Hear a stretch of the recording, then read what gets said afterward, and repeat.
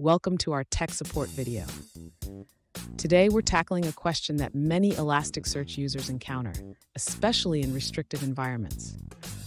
Our viewer is running Elasticsearch on a non-production RHEL 6 server and is facing some frustrating bootstrap checks. They ask, can they disable these checks to get Elasticsearch up and running without root access?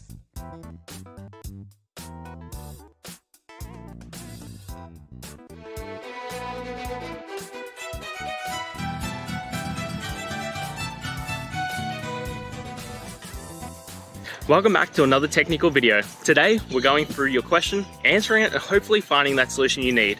Guys, remember to stay just a little bit crazy just like me, and hopefully get to that resolution. Now, let's get on to the video.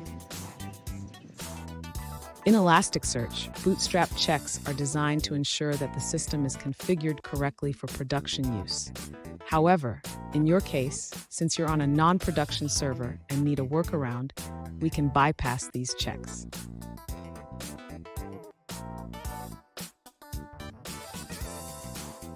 To disable the Bootstrap checks, you can modify the Elasticsearch configuration file. Locate the elasticsearch.yml file, which is typically found in the config directory of your Elasticsearch installation.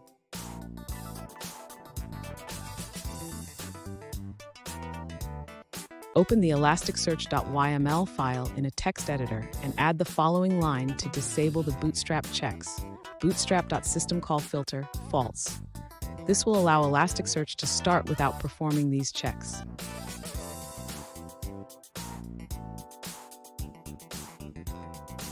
After saving the changes, you can start Elasticsearch. Keep in mind that while this allows you to run Elasticsearch, it is important to address the underlying issues later for a stable production environment.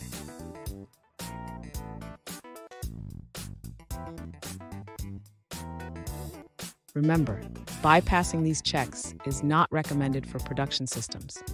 Make sure to plan for increasing the system limits as soon as possible.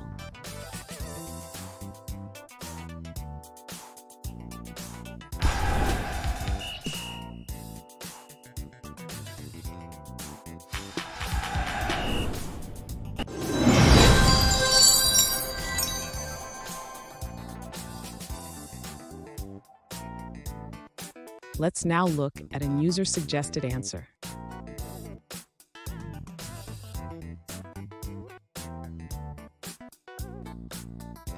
Yes, you can disable Bootstrap checks in Elasticsearch 5.4. By setting the discovery type to single node, you can bypass these checks. However, keep in mind that this means you won't be able to test a cluster on your laptop.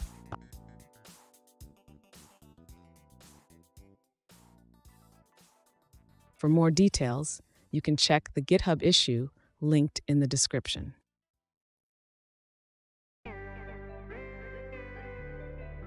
I hope that's found the resolution that you're looking for and you managed to work your way through your issue. Please, if it did help, hit subscribe. I'd really appreciate it. And until the next technical time you need help, have a good one.